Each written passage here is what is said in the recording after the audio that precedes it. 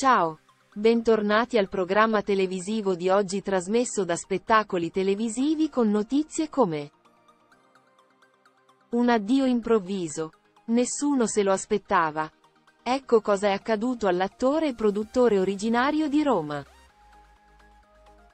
Non vedremo più Massimo Ciavarro sul piccolo schermo. La notizia del suo addio ha portato molti suoi fan e non a domandarsi il motivo per cui sia accaduto tutto questo. Nato a Roma nel mese di novembre del 1957, è rimasto orfano di padre quando era poco più che un adolescente. Essendo rimasto l'unico uomo della famiglia, si è sentito responsabile della madre e delle due sorelle minori tanto da iniziare a lavorare giovanissimo come modello per alcuni fotoromanzi. La sua bellezza lo ha aiutato molto. Questo impiego è stato il suo trampolino di lancio verso la notorietà. Poco dopo infatti è entrato a far parte dei cast di commedia all'italiana molto in voga negli anni Ottanta, interpretando sempre il bel ragazzo che fa cadere ai suoi piedi tutte le fanciulle che lo circondano. Ricordiamo Sorbole, che Romagnola. Sapore di mare 2 un anno dopo. Chewing gum, grandi magazzini e celluloide. Dopo aver trascorso un periodo lontano dalle telecamere, durante il quale ha fondato un'azienda agricola e si è dedicato al settore edile, è tornato alla sua carriera di attore.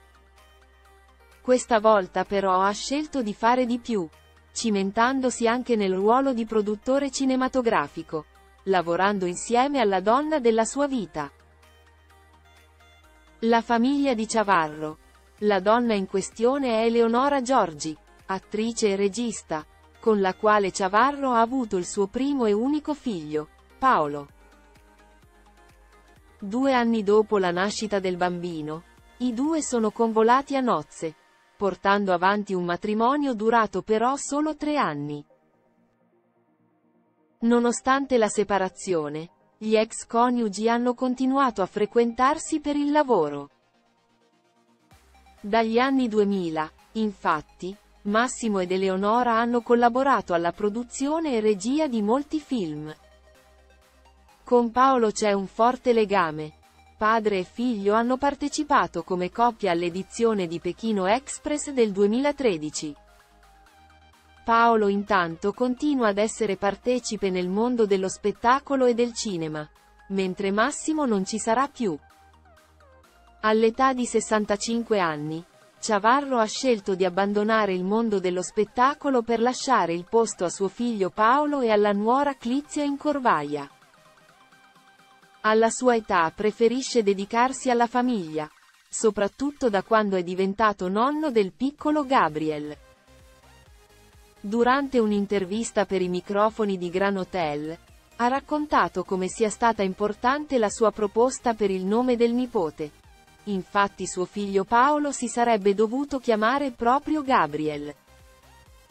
Oramai la sua vita si divide tra Roma e Lampedusa, e il suo primo nipotino gli permette di avere tutte le giornate occupate, quando rientra nella capitale. L'unica possibilità di rivederlo sarà quella dei fotoromanzi.